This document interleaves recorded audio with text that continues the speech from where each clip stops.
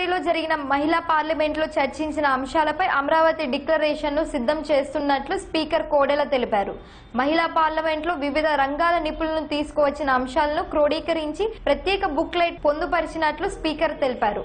మహిళా సాధికారిత కేంద్రం కోసం పది అంశాలతో బుక్లెట్ తీసుకొచ్చామన్నారు. ఇదే పది అంశాలను దృష్టిలో ఉంచుకొని అమరావతి డిక్లరేషన్ రూపొందిస్తున్నట్లు స్పీకర్ తెలిపారు.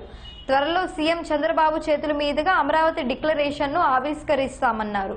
భవిష్యత్తులో మహిళలు అన్ని రంగాల్లో సాధికారిత సాధించే దిశగా డిక్లరేషన్ తయారు చేస్తున్నామన్నారు. దీనికోసం సీనియర్ మహిళా ఐఏఎస్ అధికారులతో స్పీకర్ కోడల సమీక్ష నిర్వహించారు.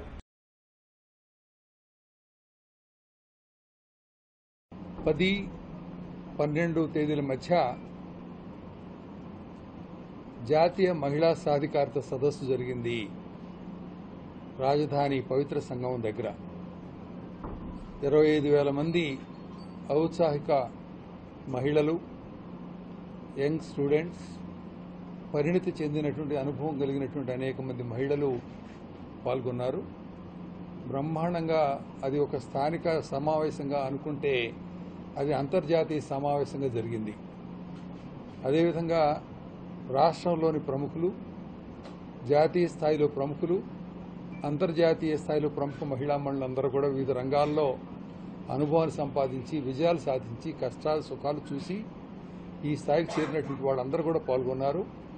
అదేవిధంగా శ్రీలంక నుంచి బంగ్లాదేశ్ నుంచి కీనియా నుండి అమెరికా నుండి అనేక దేశాల నుంచి కూడా మహిళా మనులు పాల్గొని దానికి ఒక శోభను చేకూర్చారు. అర్థవంతంగా సదస్సు నిర్వహించడం జరిగింది.